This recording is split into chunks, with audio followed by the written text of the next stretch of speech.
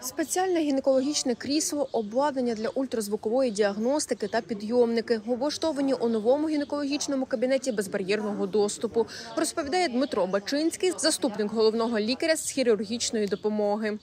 гінекологічний кабінет. Е, Значить, облаштований е, гінекологічним кріслом з підсвічуванням, яке автоматично опускається низько, піднімається для доступної візуалізації для діагностики пацієнтки. Також е, при взаємодії з благодійними фондами е, є спеціальне обладнання для людей з обмеженими можливостями фізичними, е, яке можна підіймати з крісла з візка до власне на дане крісло. І цим самим можна проводити огляд.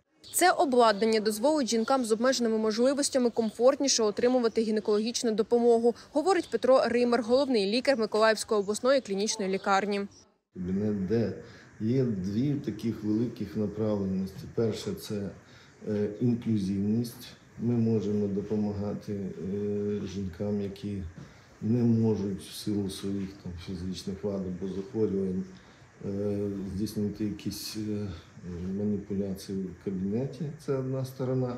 А друга дуже важлива сторона це допомога психологічна, психологічна допомога в результаті якихось е, сексуальних насильств або е, інших таких складних життєвих ситуацій для жінок, для е, молодих е, якраз дівчат, можливо, для того, щоб допомогти їх вийти з скрутної ситуації.